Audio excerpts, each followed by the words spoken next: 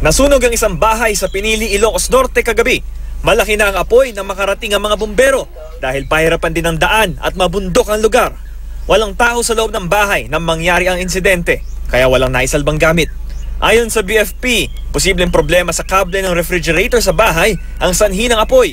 Aabot sa kalahating milyong piso ang halaga ng nasunog na ari-arian.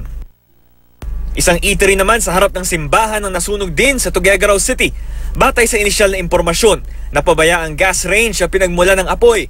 Wala namang nasaktan sa sunog. Pero wala rin naisalba ang may-ari ng kainan dahil sa bilis ng pangyayari. Wasak ang harapan ng isang van matapos magkasalpukan ng isang pampasaherong bus sa Chaong, Quezon kanina madaling araw. Ayon sa Municipal Risk Reduction and Management Office ng Chaong, galing Maynila ang van at papunta ng Lucena City nang makasalpukan ng isang bus ng DLTB na galing naman ng Bicol. On the spot ang isa habang apat na iba pa ang sugatan na pawang mga pasahero ng van.